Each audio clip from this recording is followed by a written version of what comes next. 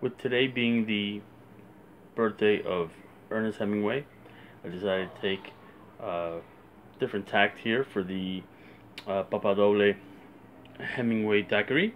Uh, this time I did it frozen.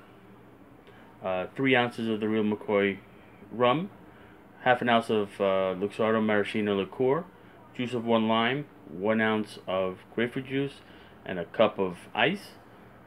Under the ice crust sitting in the blender. Blend till smooth. Here we go.